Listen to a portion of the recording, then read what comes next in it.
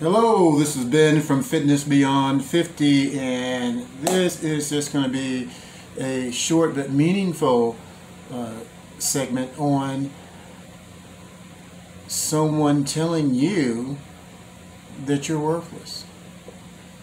So just remember the people that are telling you that you are worthless are people that are living in glass houses throwing stones. Sometimes that we can, as humans, we will adapt what someone says about us over a period of time and we make that become a part of us.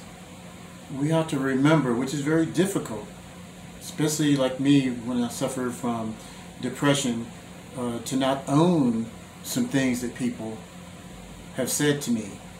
So when a person tells you that you're worthless and you accept it and you feel hopeless and you want to get off this ride, you want to take your own life, you know what? You need to look at them and you need to tell them this that you are worthy, that you are intelligent, that you are a spiritual being, and that you are beautiful inside and out.